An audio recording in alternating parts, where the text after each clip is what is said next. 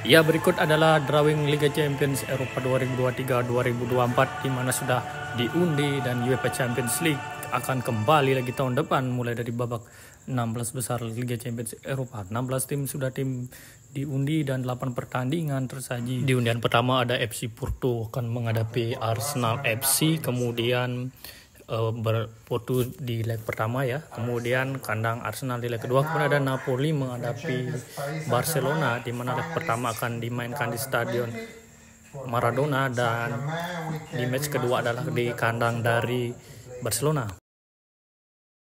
Kemudian ada di undian ketiga wakil Prancis Paris Saint-Germain menghadapi Real Sociedad, kemudian Internazionale Milano menghadapi wakil dari Spanyol yaitu Atletico de Madrid dalam lanjutan 16 besar Liga Champions Eropa ini di mana yang disebut pertama menjadi tuan rumah terlebih dahulu.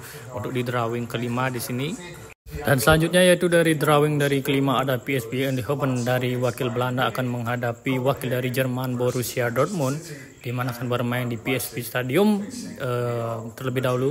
Kemudian uh, Olimpico Stadium akan menjamu Bayern Munich terlebih dahulu di mana Lazio berjumpa Bayern Munich di dalam lanjutan 16 besar Liga Champions Eropa ini.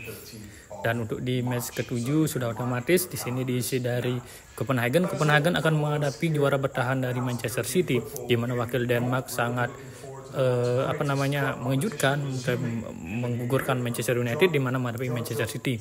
Kemudian RB Leipzig akan menghadapi Real Madrid di sini di mana wakil Jerman akan berhadapan dengan wakil Spanyol yaitu Real Madrid dalam lanjutan 16 besar Liga Champions Eropa 2023-2024 yang berlangsung Februari dan Maret 2024.